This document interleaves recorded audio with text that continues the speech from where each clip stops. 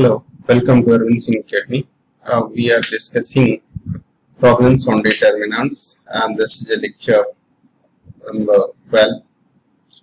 We had uh, solved questions from exercise 4.4, uh, 4. Point, uh, I think 2, 4.2 and some questions are still left. So let us solve those questions that is uh, from exercise problems from exercise. Exercise. 4.2 question number 12 the rest of the question has been discussed in the previous video so please watch them. And if there is any problem just ask. Question number 12 is a, a question which is given in form of 1 x square x cube x 1 x square and x square x 1 that is also x. And uh, that must be equal to you have to prove that 1 minus x cube whole square. That you need to so what we'll do here let me solve this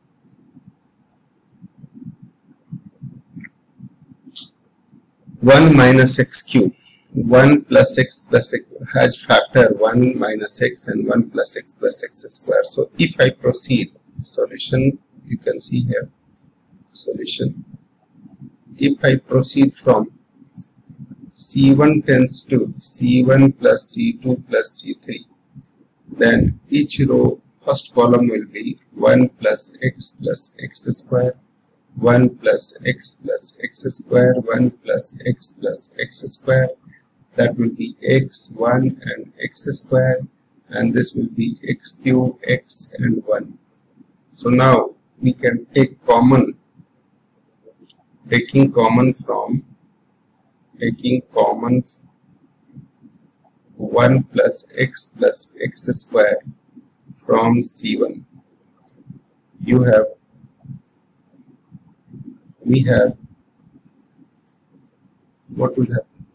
In that case if I take common then it will be 1 plus x plus x square. So that will be 1 plus x plus x square and this will be 1 1 1 and x x square 1 x and x square 1 this will come.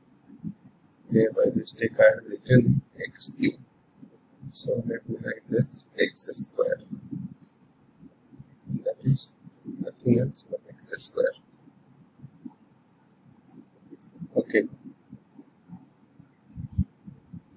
that will be x squared. Now um, we have to bring maximum zeros so what will happen?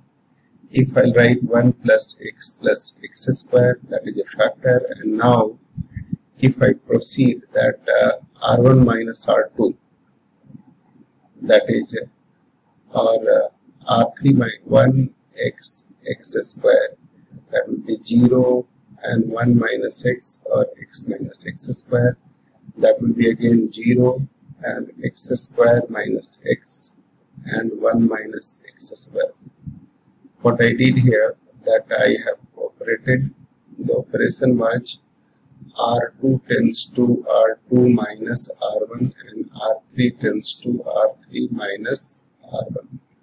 So in that case what will come? That will be in that case it will be like uh,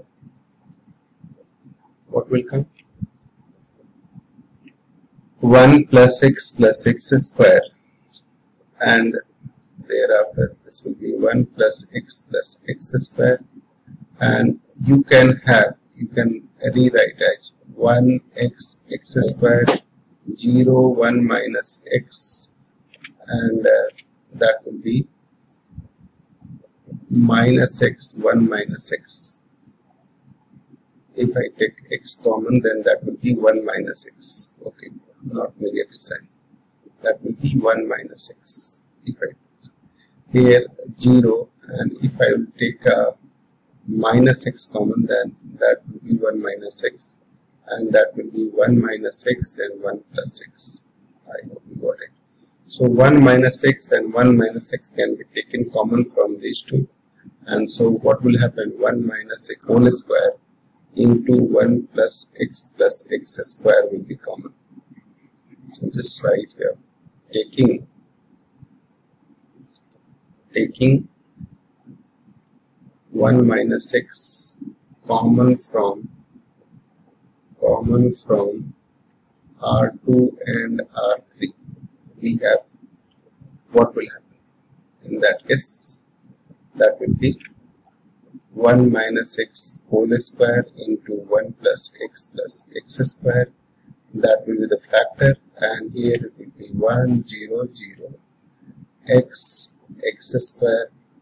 1 1 minus x is being taken x and that will be minus x and here it will be 1 plus x.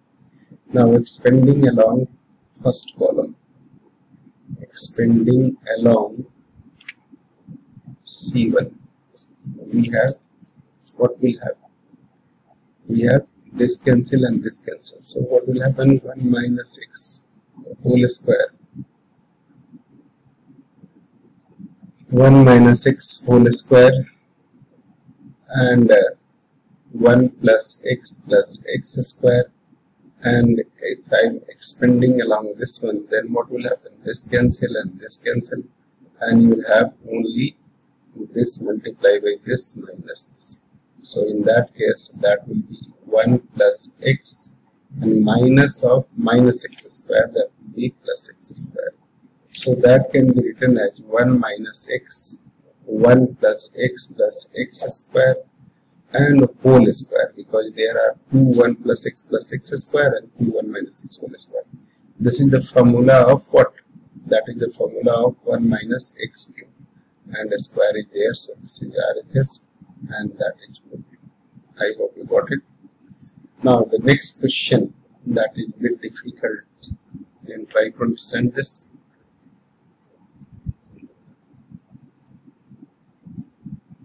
Let me write this straight line. Okay. Now the next question is here and the question is like uh, question number 13 is there and what is that 1 minus a square minus b square 2ab and 2ab then 2ab 1 minus a square plus b square and 2a here is only 2b there is only 2b given okay? Minus 2 in fact. So 2ab and 2a and now that will be 2b minus 2a and 1 minus a square minus b square. And here it was plus. So that will be the way right and that has to prove here like uh, this is what.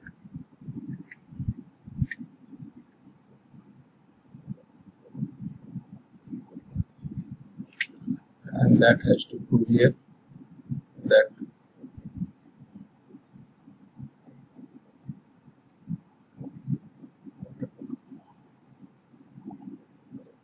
Okay.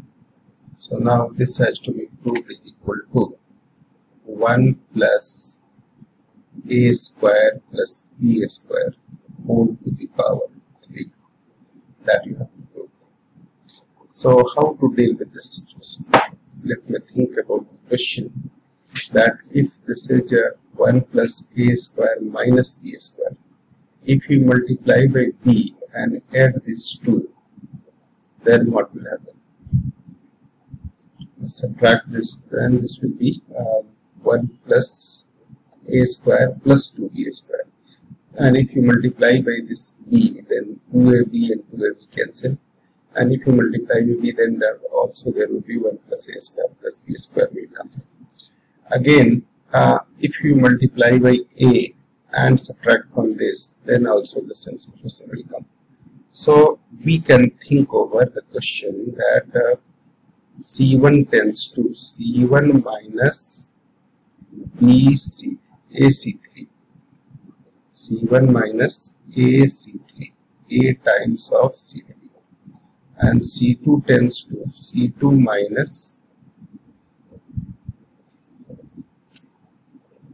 c1 b times of c3 here b times of c3 and c2 tends to c2 minus a times of c3 then what will happen in that case that will be see what will come here uh, the things will come like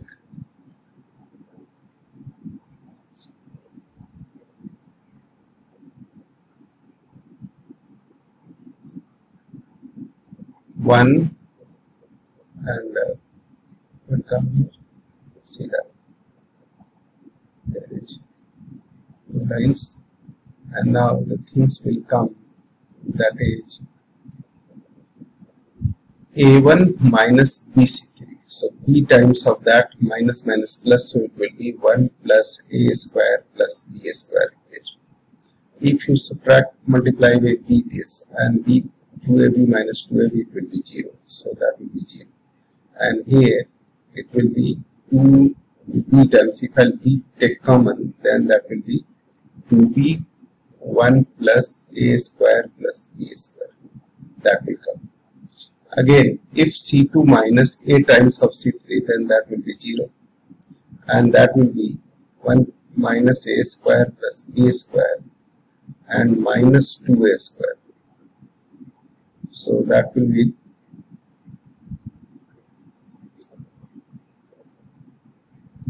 it should be plus it should be plus here there should be plus so that that will be 2a square. So 2ab and 2ab minus 2ab and plus 2ab 0 and this will be plus 2a square so it will be 1 plus a square plus b square. I hope you got it. And the third one will be this will be plus so minus can be taken common and that will be minus a can be taken common and 1 plus a square plus b square right? So that will be minus 2b 2a and 1 minus a square minus b square. Now I can take 1 plus a square plus b square from column 1 and column 2 so taking 1 plus a square plus b square common now taking 1 plus a square plus b square common then that will be um, here 1 0 b. That will be 0 1 minus a. And minus 2b 2a 1 minus a square minus b square. So again two things has taken common. Now we can expand. Expanding along. Now expanding along c1 we have what is that? 1 plus a square plus b square whole square. Now if i'm going to expand this then that will come 1 into this cancel this cancel. So what is that? That is 1 minus a square minus b square and multiplication of these two will be there. This minus this so minus of that will be plus 2a square. So that will be plus 2a square. And second b times of this cancel this cancel. In that case 0 multiplied by 2a is 0 so 0 minus minus 2 that is plus 2 so this will come. So the things will come like things will come like 1 plus a square plus b square whole square. And that will be 1 2a square minus a square is plus a square minus b square and b multiply with 2b is 2b square. And so the things will come a square b square whole square into 1 plus a square plus b square. And the output will be 1 plus a square plus b square whole to the power 3 and that is so I hope you got it. This is question number 16 14 and now the next question is there. 14 question number 14 so I'm writing here question number 14 and that is given here a square plus 1 AB AC AB AC B square plus 1 and BC that will be BC and C square plus 1 is equal to you have to prove 1 plus A square plus B square plus C square. How to deal with this question? Let me explain because here is a square b square c square only so we can multiply the first row by a so that it will be also a square a square second row by b and third row by c so multiplying multiplying multiplying r1 r2 r3 by a, B, C respectively. Then what will happen? In that case, it will be that will come here. A into a square plus 1 a square b a square c. That is a b square multiplied by b. A b square b square plus 1 into b and that will be b square c. And since multiply by this is c so that will be a c square and c square b and that will be c into c square plus 1 into c since I have multiplied by ABC so we should divide by ABC right now we should divide it by ABC as well. Let me write this side. That will be ABC. Sorry. ABC. 1 upon ABC. Because I have multiplied, so I have to divide. Now we can take col column wise common A and B from here and C from here there. So taking A, B, C common from C1, C2 and C3 respectively. What will happen? In that case, that will be A square plus 1, A square, A square, B square, C square. That will be b square plus 1 and uh, that will be also b square. And since b has been taken common from here so c square and that will be c square plus 1 I hope you got it. Now since in result we need to prove 1 plus a square plus b square. So how it will come? How it will come? 1 plus a square plus b square plus c square. Obviously you have seen here that uh, adding all these r1 tends to r1 plus r2 plus r3 then this will come.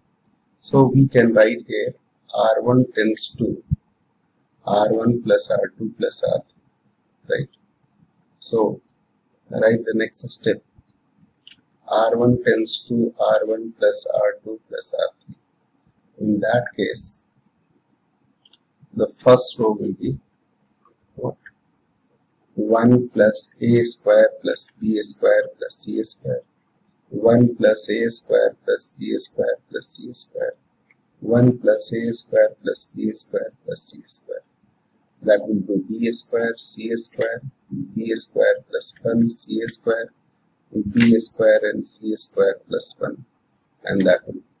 So taking 1 plus a square plus b square common from r1 taking 1 plus a square plus b square plus c square from R1 we have we have what will come in that case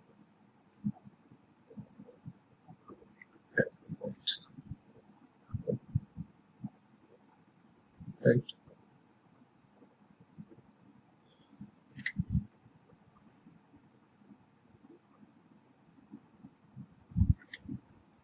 and uh, here also. Right here also. Let me write one. This one.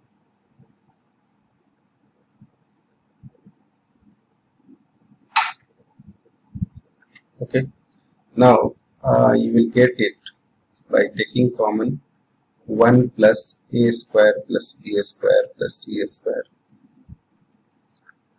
You have what is that? 1 1 1 b square c square. B square plus 1 c square. And b square c square plus 1 that you need to write so we will write. I hope you got it. Okay. Now.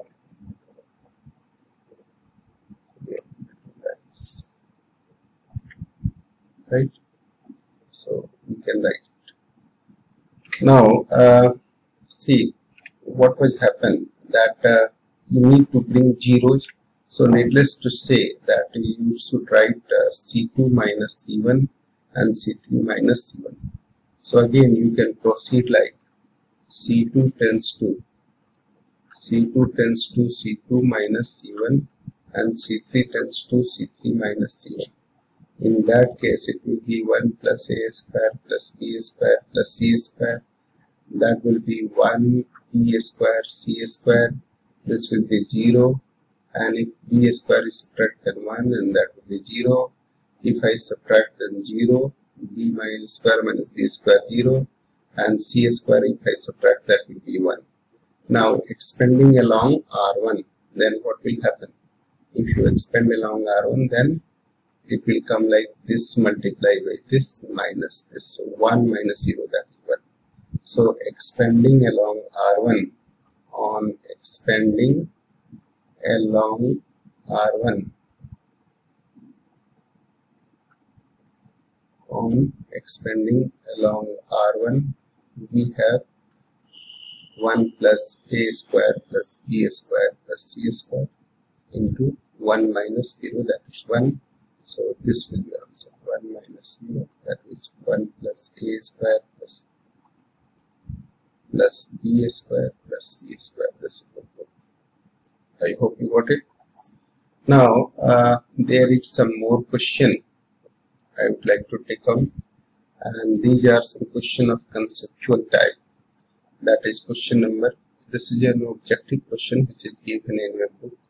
So question number 15 let A be any square matrix. Let A be any a square matrix. A square matrix of order 3 into 3 order 3 into 3 then k is equal to then k a determinant is equal to determinant of k. So since that must be equal to since A is a matrix and multiply by k then all the rows and columns will multiply by k. So there are three. So where you find the determinant that will be kq so solution will be kq because it is a determinant of order 3 so k multiply by k multiply by k there will be k common in each of the row and hence determinant of A will be there. So that is KQ times of determinant of A. So this will be KQ times of determinant of A and that is given in option C which is given in option C and therefore C is answer. Now there is question number 16 and that question is given. Which of the following is correct. Which of the following? Following is correct. Is correct. This is what they are asking. So the things which is given here that there are some statements and statement A was given that determinant is a square matrix. Determinant is a, square matrix. B option is given here that determinant is a number associated with a matrix determinant is a number associated with a matrix associated with matrix. And C option was given. Determinant is a number associated to a square matrix. Determinant is a number associated with with a square matrix. A square matrix and D option was given none of these so when we find the determinant then you have uh, a number. And that is coming out from a square matrix only. So C will be the right answer. So clearly C will be the right answer. Option C is correct. And hopefully you got this on what you are, I to tell you in this topic. So that's all. One more formula um, that is uh, required for finding area of triangle. So to find area of triangle area of triangle whose vertices are given you can calculate. This is the very simple formula. You will use it if a x1 y1 b x2 y2 and c x3 y3 are the vertices of vertices of a triangle then area of triangle is given by area of triangle is half into determinant of 1 1 1 x1 x2 x3 y1 y2 y3 that if you calculate you will get the area of triangle. And if area of any triangle is zero then points are collinear. So wherever you have to prove collinear points then uh, you have to prove that area of triangle is zero.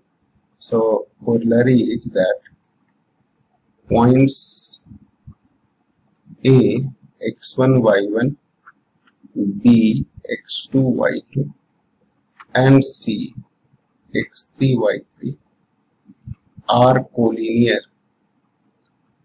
Collinear if area of triangle ABC is 0 so you will use this determinant um, properties of this determinant and definitely you will be able to calculate it whether the uh, area of triangle is 0 or not. If area of triangle is 0 then definitely you can say that uh, this is a these are collinear points. Because when points lies on a line then triangle cannot be made. And since triangle cannot be made and therefore of course the area of triangle will be 0 so i hope this is not difficult and you have done this in class 11th and uh, also. But uh, here by using the properties of determinant you have to deal with.